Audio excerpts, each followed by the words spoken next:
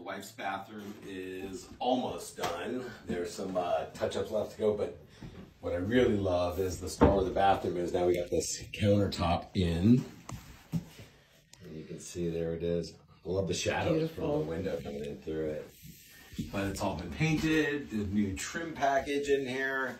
Uh, a little bit more to go, but I think all in all, New towel rack. yeah.